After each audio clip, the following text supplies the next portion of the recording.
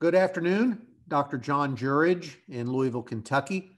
I am the medical director of HPS Kentucky, which is a HIFU treatment center of excellence.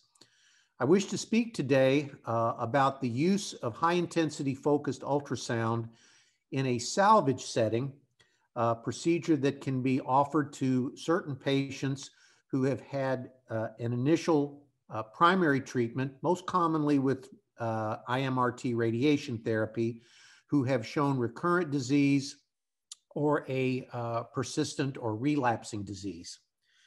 Uh, I'd like to say, first of all, that this is a difficult subset of patients.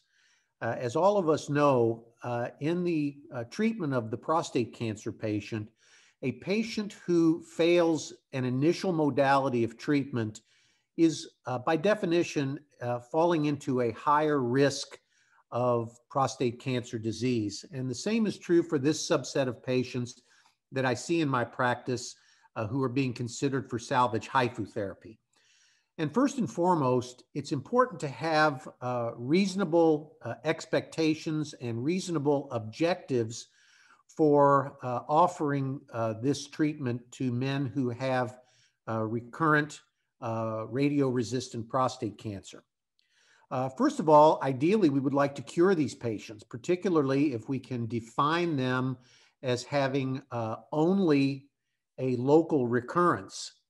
But as we'll see from slides upcoming, this certainly has not uh, always been uh, an attainable objective. So we have to look at other uh, objectives that are also in the patient's best interest and are appropriate uh, for considering HIFU therapy in a salvage modality. Obviously, the delay of progression to uh, metastatic or extraprostatic disease is a, a very valid objection, uh, objective rather. And also uh, being able to delay or avoid uh, either intermittent or long-term androgen deprivation therapy uh, can certainly be uh, a very worthwhile objective, particularly as we find more and more evidence that long term androgen deprivation therapy has uh, numerous uh, disadvantages uh, for patients, both in uh, general physiology, uh, associated uh, morbidity, and quality of life issues. Um, and in addition, we'd like to be able to avoid some of the consequences of progressive local disease uh, primarily uh, ureteral obstruction from progressive prostate cancer, as well as uh, urinary retention and other irritative symptoms that might be occurring. And finally, uh, we certainly are well familiar with uh, other uh, local options, primarily salvage prostatectomy and the significant associated morbidity that oftentimes can go with this treatment as a salvage option. Um, by definition, patients who have recurrent prostate carcinoma after radiation therapy uh, do have a uh, more aggressive uh, prostate cancer. A biopsy series have shown that uh, Gleason 8 or higher cancer is found in 60% we often see uh, aggressive infiltrative growth patterns. In some instances, the biopsies fail to demonstrate a radiation effect in the tissue. And in general, uh, as seen in uh, this slide demonstrating uh, pleomorphism and uh, an aggressive cellular subtype, uh, this is a, in most cases, a more aggressive prostate cancer. If we look at uh, data from 2017, looking at whole mount prostatectomy specimens after IMRT salvage prostatectomy, it further delineates the uh, difficulties in managing these patients. Uh, almost all had tumor at the apex, which in uh, HIFU salvage is a, a, uh, tricky area to manage. Uh, nearly half had tumor present in the most apical three millimeters of the prostate, and a significant percentage uh, had seminal vesicle involvement, which, in uh, the opinion of many, is actually a manifestation of systemic prostate cancer. And if we look at uh, some of the salvage prostatectomy data in uh, several uh, series that were reviewed by Scardino in 2011, uh, we see again that this is a sobering uh, subset of patients.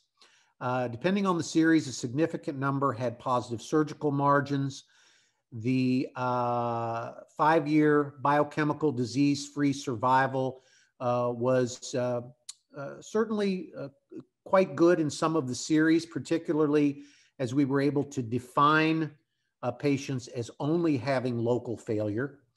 And so it, it certainly is a, a, reasonable option, particularly in experienced surgical hands, but it is a procedure that carries with it significant morbidity, including stricture, rectal injury, uh, high rates of erectile dysfunction, as well as urinary incontinence. Uh, Dr. Steve Cianti uh, kind of had a summary uh, looking at several series that compared uh, erectile dysfunction uh, side effects from treatment, as well as uh, urinary incontinence side effects from treatment. And as we look at the available treatment options, we find that focal HIFU therapy, which in many cases is suitable for radio recurrent prostate cancer, that we do uh, see quality of life preservation uh, in a high percentage. Uh, there has been a significant publication uh, looking at this subset of patients and management with HIFU. Uh, a large series uh, that was published in 2017 using European data showed that the five year biochemical failure free survival was 58% in lower risk patients, uh, but dropped down to 36% in higher risk patients. And uh, comparing this to the previous slide, this uh, compares somewhat reasonably with the salvage prostatectomy data, uh, but with significantly less uh, treatment related morbidity, as summarized here in this slide. If we look at a large uh, trial done in North America, which had fairly strict endpoints, uh, we find that uh, the use of whole gland HIFU therapy in radio recurrent prostate cancer uh, did have uh, very significant um, uh, response rates. We looked at this group for two endpoints that were primary endpoints, one being a PSA nadir of less than 0.5 or less at 12 months, and a negative biopsy rate at 12 months. And what we found in this group is that 81% had a negative 12 core biopsy, uh, and that um, incontinence and ED rates uh, were acceptable. The incontinence uh, being uh, defined as the use of any pads at all uh, being determined as severe incontinence, and this was only seen in 4% of patients. Erectile dysfunction was preserved in a significant percent of patients who were actually potent prior to therapy. Um, so, in this uh, group of patients, the use of whole gland HIFU uh, did result in some treatment related morbidity which were viewed as uh, significant uh, events. One was a 13% urethral stricture rate, and in 2%, uh, this was a complete bladder neck obliteration requiring multiple procedures uh, to restore urethral continuity, and uh, a rectourethral fistula rate of 5% in which two patients required uh, additional surgery with diverting colostomy. And this is in the series of uh, 100 patients. Again, uh, in patients who have had previous radiation therapy, uh, there are um, characteristics that put them at higher risk. uh, issues with the integrity of the rectal mucosa and muscularis, uh, as well as vascularity uh, of these structures. So uh, in recent years, those of us who are involved in HIFU therapy have turned our attention towards trying to define patients who can be treated focally uh, for radio recurrent uh, prostate cancer. And uh, this actually um, is involving uh, several new criteria, primarily the use of uh, advanced imaging with multiparametric MRI, as well as the use of uh, fusion biopsy and, in many instances, saturation biopsy to try to more uh, extensively uh, stage the patient with radio recurrent uh, disease. And we have found that we've been able to significantly reduce uh, the rates of urethral stricture uh, down to uh, a rate of approximately 2 to 4%. And in most cases and most series, eliminate the risk of significant uh, rectal morbidity. So, in one large series, um, Dr. Emberton from Great Britain looked at 150 patients uh, who were stratified uh, based on uh, low risk, intermediate, and high risk, uh, primarily due to uh, tumor volume found at the time of saturation biopsy, as well as an attempt to grade uh, the recurrent disease using Gleason scores, which is in and of itself sometimes a challenge. Uh, his patients actually had a, a higher pretreatment PSA than would be optimal. In my practice, uh, we have encouraged our partners to try to adapt uh, to the strict ASTRO criteria defined in the radiation oncology literature uh, to describe a radiation failure as being three consecutive rises in PSA. So the dynamic has changed a little bit. Excuse me. We've tried to identify these patients earlier rather than later. Uh, and that seems to be a predictor of a successful outcome.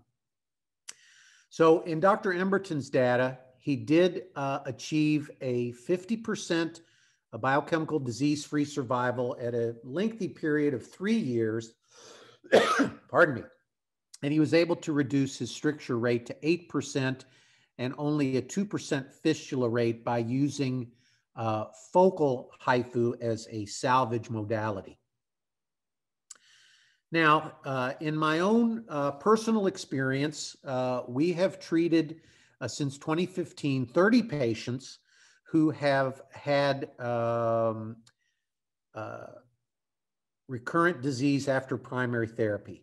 The majority of the patients have been IMRT patients.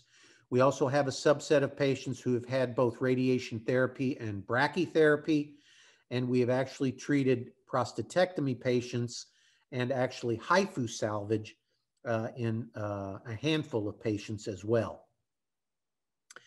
Uh, in our subset of patients, as you can see, uh, we took on um, all comers. There was a number of patients with significantly uh, elevated PSAs, uh, as well as the more desired patients who fall into PSAs that are much, much lower. The higher uh, PSA levels uh, were primarily uh, patients referred here uh, who had been evaluated and uh, who had been determined to uh, seemingly have failed locally. And we'll get into that subset of patients as we go along a little bit further. we did see in the vast majority of patients very early, excellent uh, PSA results. Most, pa- most patients significantly less than 0.4. Uh, we did have uh, three patients who uh, turned out to be minimal or non responders uh, even early on. Those patients subsequently failed uh, primarily regionally in the lymph nodes and one patient failed uh, distantly with skeletal metastases. And in the majority of patients, our uh, results continued to endure uh, at least out to the 12 month mark in the majority of patients.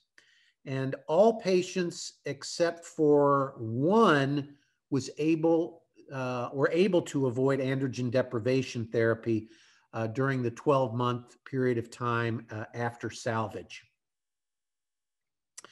If we look at our 12 month biochemical response, we had a median uh, PSA of 0.94 at 12 months.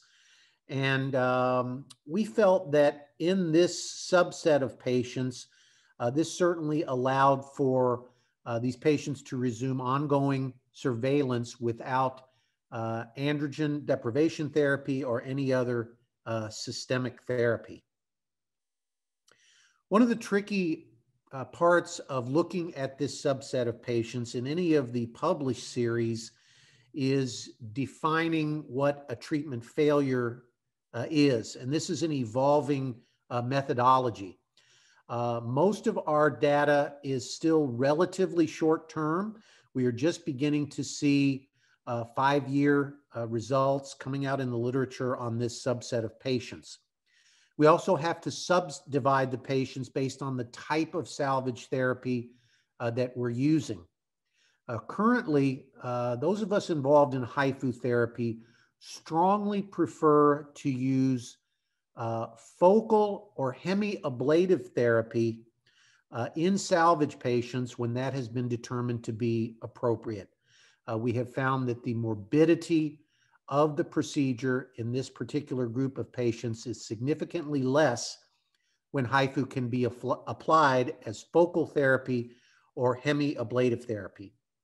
It is also essential to incorporate uh, post salvage imaging using multiparametric MRI, and also, very importantly, incorporating Axumin or fluciclovine scanning in both the pre-treatment as well as in the follow-up of these patients. I really can't emphasize that aspect uh, more strongly in terms of patient selection as well as in following uh, the progression.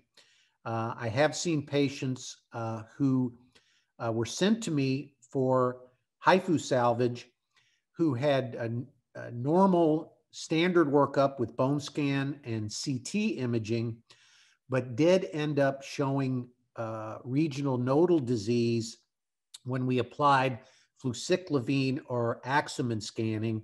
And most recently, FDA, I think, has given approval to PSMA scanning, which I think is going to be tremendously helpful in how we manage these patients. Uh, in the uh, post salvage patients and those who were determined to have uh, progression, 14% were defined simply as biochemical failures. Uh, many of those patients with uh, imaging uh, have been able to maintain a surveillance protocol. 10% have failed locally as defined by biopsy, and an overall failure rate at 12 months, uh, combining these two groups of patients, is about 25%, which is not um, uh, certainly uh, a stellar uh, endpoint. But as I, mentioned, as I mentioned at the beginning of the talk, in this subset of patients, one of my primary um, objectives is to avoid treatment morbidity, salvage treatment morbidity and delay the implications of giving these patients uh, androgen deprivation therapy. Uh, our colleagues in England are also working on a uh, methodology for trying to determine which patients are most suitable for salvage therapy. And it combines uh, several important variables including their disease free survival after their primary radiotherapy, their pre salvage PSA level, their PSA doubling time, the prostate volume at the time of salvage, as well as information obtained through uh, MRI uh, imaging. And I think as we go forward, uh, we are going to look at models such as this in making uh, ultimately the decisions regarding the use of salvage therapy. Uh, well, this is actually an example of an Axumin scan done on a patient that was sent to me for consideration for salvage. Uh, PSA at the time of this uh, scan was, uh, I believe, about 2.5. And uh, Axumin scanning uh, demonstrated not only increased uptake in the right uh, hemisphere of the prostate, which was the site of the positive biopsies, but an unsuspected uh, pelvic lymph node, which subsequently was biopsied using CT guidance and turned out to be uh, nodal metastasis. And this patient went on to have uh, androgen ablation therapy and I believe some additional radiation therapy to his lymph nodes. And this is very important because this method of a more provocative uh, PET scanning using markers like fluciclovine or PSMA uh, is really going to help with patient selection.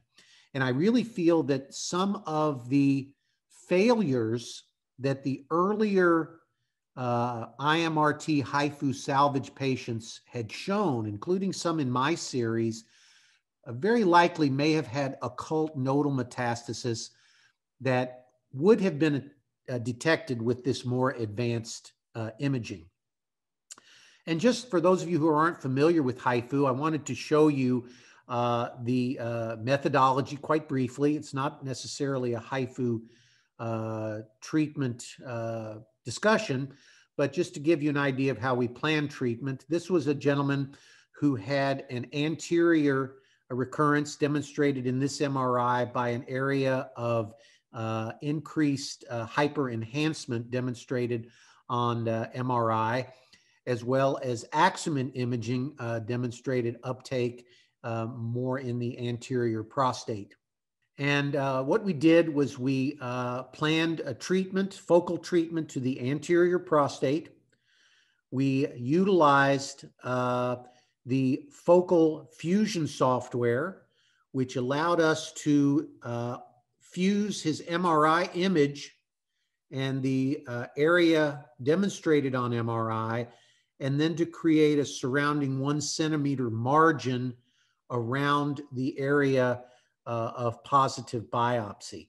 So we utilized uh, this advanced software incorporating uh, MRI. This was another patient who had a lateral uh, mid-gland recurrence, again demonstrated uh, with the uh, MRI region of interest a margin that I was able to create using our HIFU MRI fusion software. And this is actually a coronal image. Uh, we were able to extend our treatment uh, beyond the prostate, even to include uh, this patient's uh, left neurovascular bundle, which we've demonstrated uh, using Doppler enhancement, just lateral to the posterior lateral prostate. And then, as you can see on the right side, this remaining bundle uh, was left uh, undisturbed. So, in summary, I would like to say that it's very important to uh, give full assessment to this subset of patients. Uh, be very thorough with assessing uh, all of their voiding symptoms. these patients need uh, very extensive pre-treatment evaluation. Patients who have um, a significantly abnormal rectal exam may not be ideal patients. Uh, the patient with a fixed rectal mass probably does not have uh, a local salvage situation. And we want to assess for any associated anal and rectal morbidities, uh, which include, uh, in most instances, an up to date colonoscopy, as well as this uh, checklist of studies that are recommended prior to considering patients for salvage HIFU therapy. So, in summary, uh, let me conclude by saying that um, there are many patients uh, that will be present in all of our practices who will show um, relapse after radiation therapy. Uh, probably it may be as many as 20 to 25 patients treated with primary radiation therapy. A significant percentage of these patients may still have salvageable local uh, disease. And I think that if we uh, are cognizant of evaluating these patients early on, if they have uh, uh, an anticipated uh, significant life expectancy that is at least 10 years and their overall comorbidities are not uh, high, that it's uh, appropriate to look at evaluating these patients initially to define their disease as uh, precisely as possible, including MRI, including advanced PET imaging, uh, as well as um, the other studies listed here and uh, give some consideration to uh, looking at high intensity focused ultrasound as a salvage option, which has the opportunity to uh, eradicate the local disease in significant cases, and if not, offer the patient an extended period of time where systemic therapy and hormonal therapy can be delayed or avoided for long term. And I think in experienced hands, this procedure can be done with acceptable morbidity and I think is uh, suitable for an, a subset of patients that fall into this category. And I thank you for your attention.